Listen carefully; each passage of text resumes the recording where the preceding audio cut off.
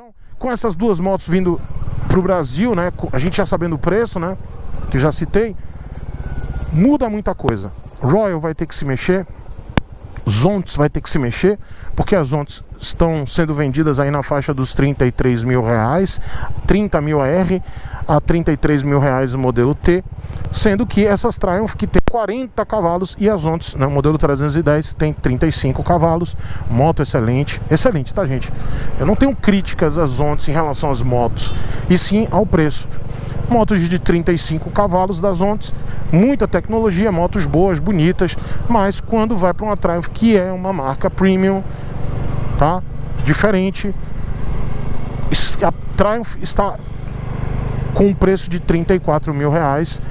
A Scrambler X, né, 400X, aqui é o elevador Lacerda, galera. Eu quase que eu não, não falo, ó. elevador Lacerda aí, ó.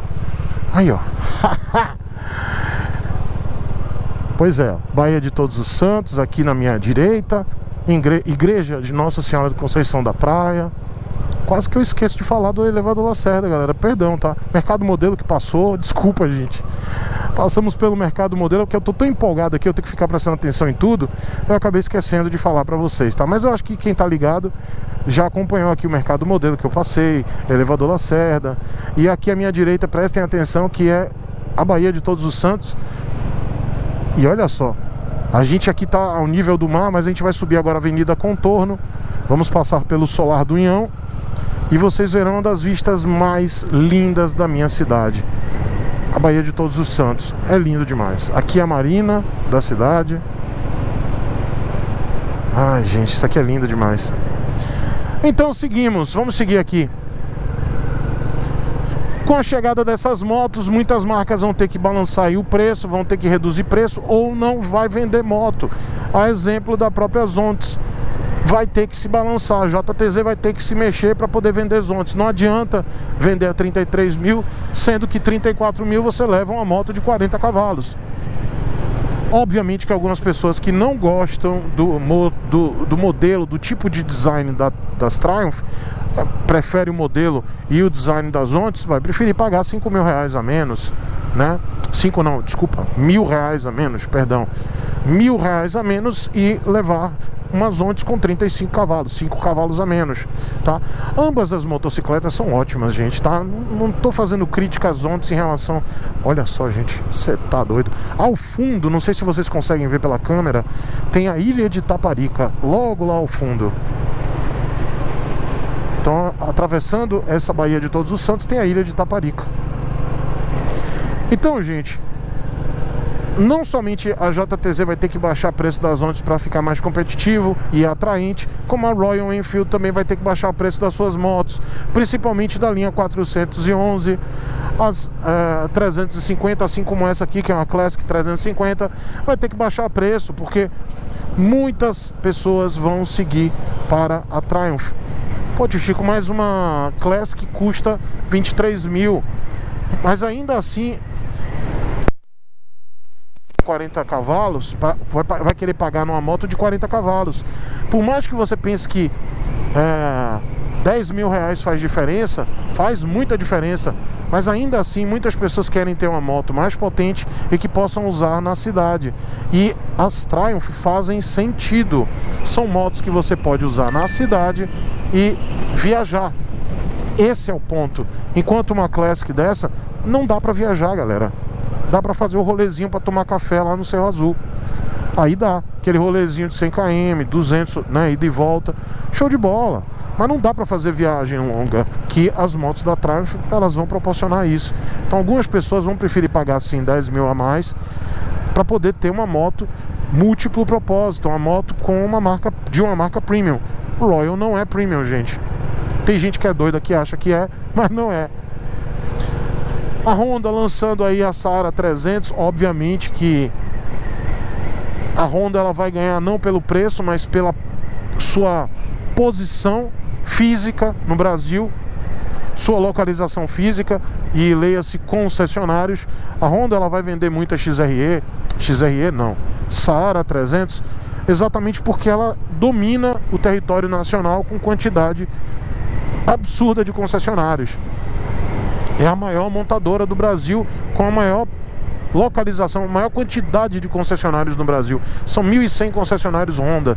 Então, nos, nos rincões do Brasil, você vai comprar aí uma Saara 300. Muita gente vai comprar por esse motivo.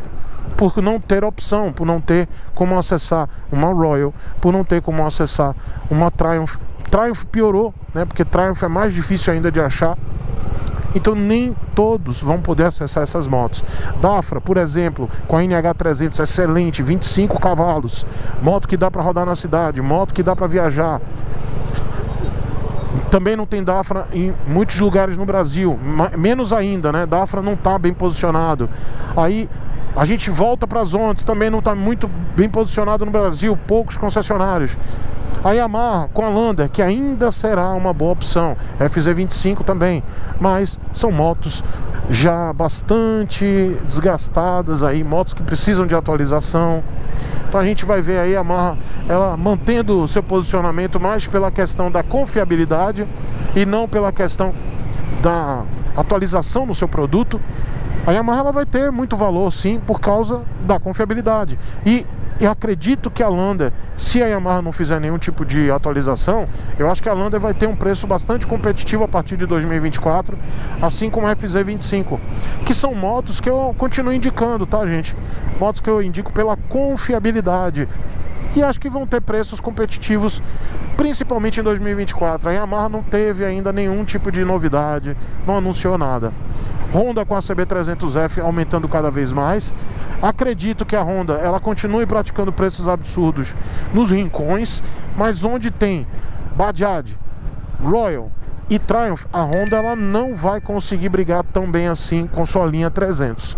Porque CB300F sendo vendida a 30 mil e muito provavelmente XRE 300 Saara ou Saara 300 sendo vendida em alguns locais a quase quase 38 mil reais, tá? Aqui em Salvador, a antiga XRE era vendida a 38 mil reais. Não duvidem, essas motos começarem a ser vendidas no Sudeste a 30 e a, alcançarem valores absurdos aí de 36 a 38 mil reais é, no Norte e Nordeste. Então a Honda ela vai conseguir vender mais pela sua posição no mercado em relação à quantidade de concessionários e a, a Yamaha também, né, tendo um pouco mais de concessionário que as outras e tendo confiabilidade nas suas motos FZ25 e Lander, mas com o motor já e as motos em si já muito defasadas. A Dafra com pequena a, a pequena quantidade de concessionários vai vender bem também na H300, que o preço está bom, na faixa aí dos 25 mil reais. Royal Enfield perdendo a mão completamente, vendendo Himalaia no preço louco. Promoção neste período aí de novembro é, uma promoção até por tempo limitado e até durar os estoques, principalmente na Royal Enfield Campinas e Piracicaba, que está tendo promoção. E que mais? que mais que eu posso ver aqui? Zontes não tem promoção nenhuma. Gente, mercado tá bom. Ah, como é que eu não ia falar das Bajaj, né? Bajaj Dominar 400 que está sendo vendida a 25 mil reais, com perspectiva de aumento de preço, tá, gente? Parece que vem aumento de preço, não tem nada ainda confirmado. Mas uma pena, eu acho que eles vão aumentar o preço da moto aí nos próximos meses, que eu acho uma pena. Dominar 400 com motor de 40 cavalos, monocilíndrico, moto excelente. Bajaj Dominar 200 com 24 cavalos, moto excelente também, mas a Bajaj aí com problemas de montagem, né? Gerando aí muita falta de muita desconfiança, né? Entre algumas pessoas que querem comprar moto, mas ainda estão na dúvida se vale a pena comprar porque muitos erros de montagem, tá? E é assim, tá, gente? Recomendo as motos, recomendo a Dominar 400. Teria uma, teria facilmente a Dominar 400 Dominar 200 também é muito boa, mas precisamos ver aí uma movimentação da Bajaj para melhorar a montagem das suas motos. Mas essas motos com preço extremamente competitivo, 25 mil reais, Dominar 400, e menos de 20 mil reais, em base de 20 mil reais a Dominar 200 com 24 cavalos. Vocês viram quantas opções nessa faixa aí entre 20 e 20 e 40 cavalos? Ah, também não posso esquecer dessas motos aqui, motor 350 da Royal, Classic 350, Hunter 350 e Meteor 350, né, que é uma uma custom. E eu espero que a Royal Enfield baixe o preço, entre na competitividade, na competição, queira aí vender motos, pare com essa mania de vender moto para bolha, bolha não sustenta a marca e querer ser marca de nicho. Nem a Triumph está querendo ser marca de nicho. A Triumph, galera, que vendia moto premium, vende moto premium e vendia moto até então cara. E no ano de 2022, não é 2023 que eu tô falando, tá? Tô falando a partir de 2022, a Triumph começou a vender moto com muito desconto, com taxa de juros muito baixa e agora vindo em 2024 com motos de baixas cilindradas altamente competitivas. Ou seja, a marca ela tá afim de brigar pelo segmento de média, de baixa, de média e de alta cilindrada, mesmo sendo a marca premium. Enquanto a Royal quer fazer o caminho oposto, tá bom? Em resumo, 2024 vai ser muito interessante para quem tem grana, para quem está esperando aí, quem está com dinheiro aplicado, quer comprar uma moto, espera 2024, espera o primeiro semestre de 2024. Apressado come cru. Espera aí que você vai ter uma boa, boas notícias em relação à linha Triumph, a Royal Enfield também com anúncio aí da Super Meteor. Honda com a Sara 300, enfim, e a Yamaha, galera, a Yamaha só anunciando o vento. Deixa aí nos comentários o que, que você achou, qual a sua perspectiva, eu quero saber, tá? Por favor, deixa aí no comentário. Qual a sua perspectiva para 2024?